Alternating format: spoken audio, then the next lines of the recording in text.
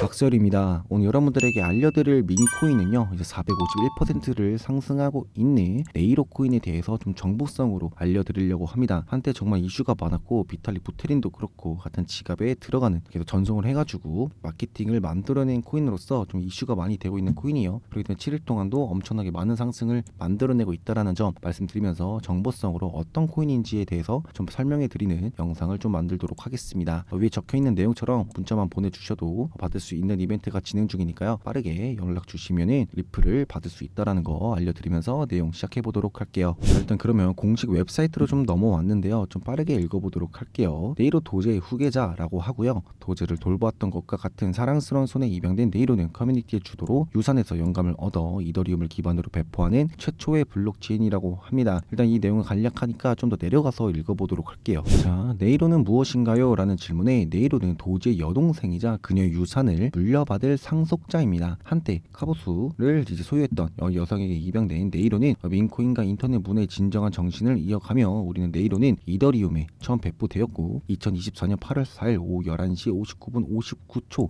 정확히 초승달의 순간이 비탈릭 부테린의 관심을 끌었다고 합니다. 원래 주인에게 버려져 길 잃은 개 보호소에 입양을 위해 보내진 네이로의 여정은 우리의 여정과 다르지 않으며 원래 개발자에게 혹독한 시련을 겪은 후 우리는 프로젝트를 인수하기로 결정했습니다. 네이로는 현재 100% 커뮤니티 소유 및 관리이며 우리는 강한 사회 환원을 의지를 가지고 한때 네이로가 살았던 보호소에 이미 기부를 했으며 앞으로도 더 많은 자선 활동을 펼칠 계획이라고 합니다. 여러분들이 여기서 보셔야 될 점은 비탈릭 부테린인데요. 이거 같은 경우에는 비탈릭 부테린에 관심을 끈 건 사실이지만 이더리움 기반이죠. 이더리움 기반이기 때문에 비탈릭 부테린의 지갑에 강제로 이제 네이로 코인을 넣은 다음에 우리 네이로 코인을 많이 갖고 있는 사람은 비탈릭 부테린이야 이런 식으로 좀 마케팅을 좀 똑똑하게 했던 코인이라고 생각해 주시면 될 것 같아요. 그렇기 때문에 이밈 자체가 한 번 더 확산이 되었고 이 확산된 걸 따라서 계속 올라감에 따라 고래들의 유입이 많아졌다라는 것 정도만 간략하게 좀 말씀드리고 싶네요. 다음은 on-chain 통계입니다. 1634만 달러 시가총액을 가지고 있고요. 1019만 달러 유동성을 가지고 있고 3154만 달러의 거래량을 좀 가지고 있습니다. 일단 이건 뭐 웹사이트이기 때문에 변동되는 게 아니기 때문에 좀 더 정확한 수치로 넘어가서 보도록 할게요. 자, 그럼 넘어와서 네이로 코인의 DEX 차트로 좀 넘어왔습니다. 아까 보셨던 것과 다르게 시가총액은 현재 2076만 달러 를 유지하고 있고요. 유동성은 115만 달러를 유지하고 있고 holder는 5.53K로 DEX 거래소 안에서는 굉장히 많은 수치를 담고 있다라고 생각해 주시면 될 것 같아요. 24시간 볼륨은 3,145만 달러로 웬만한 업비트에 상장돼 있는 혹은 비썸에 상장돼 있는 진짜 밑바닥에 있는 알트코인보다 더 많다라는 거를 알려드리고 싶고요. 추가적으로 제가 이걸 말씀드리는 이유는요. 밑에 보면은 고래를 좀 눌러보면은 어떤 고래들이 샀는지 어느 정도의 고래가 유입이 되었는지 볼 수 있죠. 이걸만 보더라도 굉장히 많은 고래들이 16일 현재까지도 계속 매매가 진행되고 있다라는 거를 좀 알려드리고 싶습니다. 이게 왜 중요하냐라고 한다면 반대적으로 안 좋게 보시는 분들은 고래분들이 많다며 던지는 거 아니냐 그렇기 때문에 바로 떨어지거나 이 개발자가 러그풀을 하게 되면 내 돈이 다 바닥나는 거 아니냐라고 하실 수 있는데 어, 그렇게 좀 해석하기보다는 고래 유입이 어느 정도 있다라는 거는 한 번 더 추가적으로 펌핑할 가능성이 더 있다 약간 이렇게 생각을 해주시는 게 DEX 거래소에서만큼은 좀 더 좋습니다. 그래서 커뮤니티 옆을 보면은 어, 싫어한다도 물론 있지만 74표 중에 우세한 거는 좋아요가 더 많은 긍정적인 신호를 좀 더 나타내고 있고요. 어, 여러분들이 보면 DEX 차트에서 뭐 거래를 한다라는 것도 너무 좋은 건 사실이지만 웬만하면은 이게 상장된 게 아니라 비상장 중에서도 이슈가 된 코인이기 때문에 오히려 이런 걸 좀 더 의심하실 필요가 있다라고 생각이 들어요. 그렇기 때문에 좀 더 소액으로만 좀 로또를 하신다. 로또보다는 확률이 더 높고 많이 벌 수 있는 코인인 건 사실이니까 그런 식으로 좀 접근을 했으면 좋겠다라는 말을 하고 싶네요. 마지막으로 좀 트위터로 넘어와서 그냥 어떤 분위기고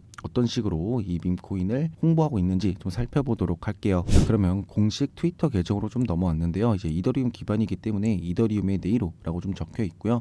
밑에 주소도 적혀 있는데 일단 이거는 사는 방법은 어, 나와 있으니까 여러분들 참고해 주셨으면 좋겠고 혹시 구매를 하고 싶은데 어떻게 구매를 하는지 모르겠다라고 하시는 분들은 리플도 받아 가시면서 어떻게 사는지도 알려주세요라고 하면은 양식 다 보내드리도록 할게요. 5팔로잉의 4,781 팔로워는 이제 별로 안 좋긴 합니다. 안 좋다라는 게 물론 팔로워를 사도 되겠지만 그런 거 엄청 흔하긴 하지만 이슈된 거에 비해서는 좀 적은 숫자지 않을까라는 좀 생각을 가지고 있고요. 밑에 보면은 그래도 24분 전에 계속 언급을 해주면서 이 내로에 대한 언급을 계속 해주는 형태를 좀 띄고 있다고 생각해 주시면 될 것 같아요. 어, 스탠스 자체가 엄청 긍정적인 모습을 좀 띄워주고 있기 때문에 좀 한글로 좀 보면은 지금 보시는 것처럼 지금까지 3,600명 이상의 실제 보유자가 생겼다는 것을 알려드리게 되어 정말 자랑스럽게 생각한다. 역대 최고 보유자 수를 넘었고 어, 네이로를 계속 지원해 주시는 모든 분들께 큰 감사를 전한다. 우리의 신념은 점점 매일 더 강해지고 있다. 우리는 이것을 이길 것이다. 라고 하면서 어떻게 보면은 계속 소통에 대한 시간을 계속 가져주고 있는 것 같습니다. 아까 말씀드렸던 것처럼 holder가 굉장히 많기 때문에 이건 23시간 전에 얘기한 거고 31분 전에 이제 5,600명이 됐다라는 거를 얘기하고 있어요. 그렇기 때문에 이제 DEX 거래소 안에서는 굉장한 이슈를 띠고 있다라는 거를 말씀드리면서 여기서 좀 마무리해 보도록 할게요. 여러분들의 구독, 좋아요, 댓글, 알람 설정은 저에게 좋은 힘이 되고요. 위에 적혀 있는 대로 최대 3만 원 상당의 리플을 무조건 드리고 있으니까 문자로 지갑 혹은 네이로